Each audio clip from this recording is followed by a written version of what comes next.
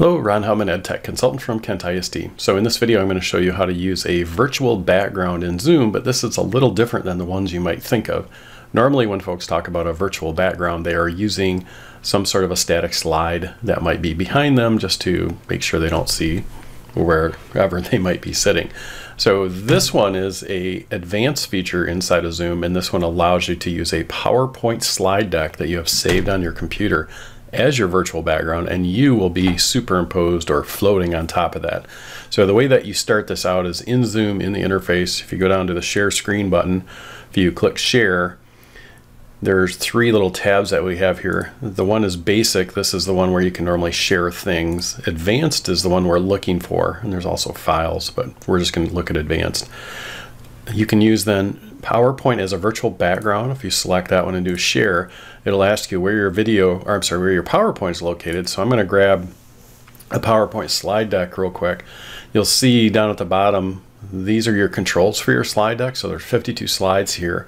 And the way that you would go through your presentation as you were talking to people would be just clicking through the slides down at the bottom and you are now superimposed and you appear like you're in the video. So this acts as a way to have a lot more engagement with your crowd um, that are attending. The one thing I would urge you as you go through this slide deck is just to make sure that um, when you create a slide deck, if you're going to do this feature, make sure that you're sizing yourself appropriately so you're never not covering your content. Um, you'll see it cuts you off at the bottom over there too. You might end up sliding yourself over different places.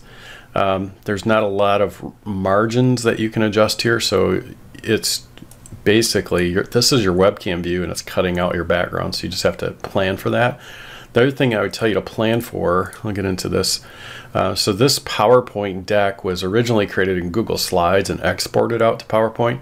You'll see that it does some really strange things to the text. So before you do just a quick, if you created in Google Slides and exported it as a PowerPoint deck, PPTX file, uh, make sure to open that PowerPoint back up and go in and fix any of the uh, text issues that you might have, especially on wrapping, or you've got some strange, um, just strange sizing in there because it'll be a little disconcerting. So here's another example of me covering up uh, parts. So I can slide myself over, and again, it's kind of a neat idea. So I thought I'd show you that real quick because I think it will be great if you're doing presentations out to groups and to other folks, maybe to just increase the engagement and that feeling that they're sort of with you in this meeting instead of just being a detached head or a body off screen someplace.